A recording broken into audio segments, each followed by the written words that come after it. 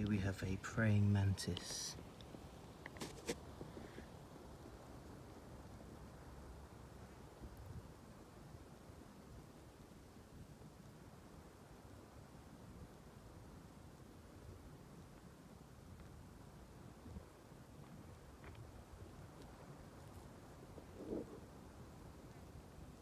I'm not sure if you can judge the size from the video. I'll try and show you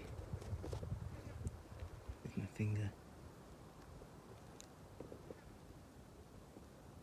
It's quite a beast.